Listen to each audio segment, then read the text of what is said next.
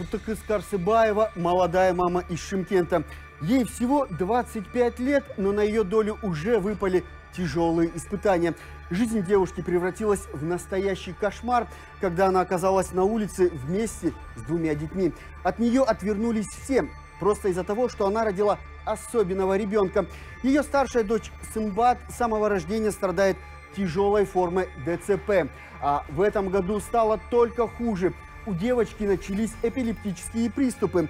Вердикт врачей – выздоровление невозможно. Медицина бессильна. Что же может облегчить приступы четырехлетнего ребенка, выяснял мой коллега Амир Саминбетов. Наш разговор с Кутыкус Карсыбай стал для нее своего рода настоящей исповедью, в которой она, пожалуй, впервые откровенно рассказывала о тяжелых испытаниях. Ее слезы говорили о внутренней боли и душевных муках, которые она переживает. В 20 лет девушка вышла замуж за простого сельского парня. Она мечтала о большой, крепкой и дружной семье, о заботливом супруге, но едва переступив порог нового дома, Куттыкыс оказалась в роли Золушки. Тяжелая работа ее не испугать. К ней она привыкла с раннего детства, но то, что выпало на ее долю, трудно поддается описанию. Девушка рассказывает, как каждый день просыпалась в 5 часов утра, чтобы успеть выполнить всю работу по хозяйству, поднимала тяжести. Помощи от супруга не было никакой. Даже на последнем сроке беременности ее не освободили от изнурительной работы. Но главные трудности были еще впереди.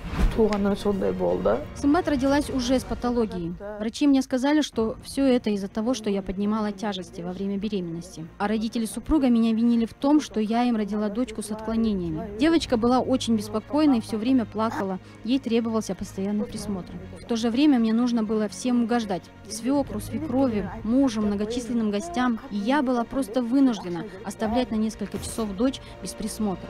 Не было и дня, чтобы родители супруга не упрекали девушку в рождении ребенка с инвалидностью. Все во всем винили только Кутыкыс.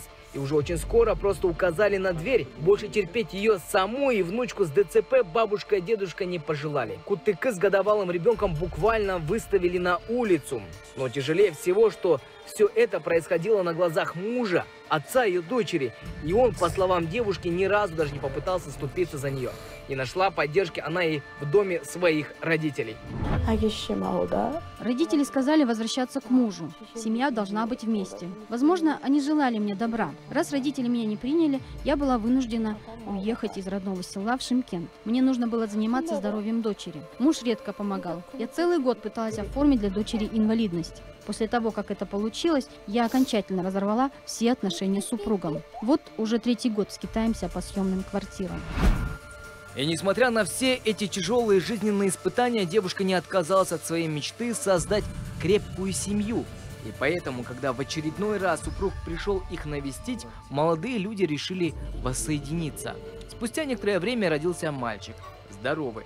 Куттыкыс Карсыбаева была уверена, что вместе они все преодолеют, но и в этот раз муж не выдержал сложностей семейной жизни. Когда у четырехлетней Сымбат начались эпилептические судороги, супруг ушел из семьи окончательно. Молодая мама взяла кредит, чтобы пройти медицинское обследование в клинике в Ташкенте. Мы были в Ташкенте три раза. Ребенку стало лучше. И теперь нужна реабилитация. Но даже записать элементарно ребенка на массаж я не могу. Нет денег. Алименты я не получаю, потому что мы официально не развелись. Я не могу выйти даже из дома. Мне не с кем оставлять детей. Кутыкас Карсыбаева ежемесячно получает 136 тысяч тенге. Это пособие по инвалидности ребенка. Почти половина из этой суммы уходит на аренду жилья. Девушка не раз просила помощи как в Акимате, так и у частных благотворительных фондов, но везде слышала только отказ. Я не могу встать в очередь на жилье. Для этого нужна городская прописка не менее трех лет. Мне арендодатели дают только временную. Помогите мне, пожалуйста. Мою дочь нужно поставить на ноги. Нужна реабилитация. 25-летняя мама на грани отчаяния. Ее жизнь буквально с каждым днем становится все сложнее и уже превращается в настоящую трагедию.